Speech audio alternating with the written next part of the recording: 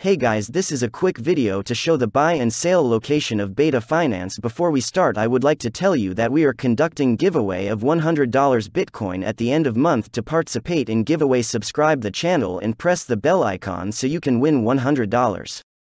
A lot of you have asked me to show you the buy and sell location of Beta Finance. So Beta Finance is right now the buy location as 3.25 where we have the least and most strong support level over 3.25 so the buy location for Beta Finance is 3.25 level and the selling location I would suggest is on $4 but to reach $4 we'll have to see a lot of things because from here we are not expected to go directly towards $4 mark so we are going to bounce back from the 3.25 location and we are going going towards 3.65 location so our next target is 3.60 to 3.65 so we will bounce back every time we fall down below. We will bounce back from the support level of 3.35 and we have our resistance level on 3.5 on so if you are planning to buy beta finance it's better to buy it from 3.25 position and if you're looking if you already hold beta fine handle it reaches 3.60 and hopefully this is the last signal and I will give you more signals in upcoming week. Beta finance I'm expecting to go from here towards 3.65 as the next target so hope to see you in the next video thank you for staying with us.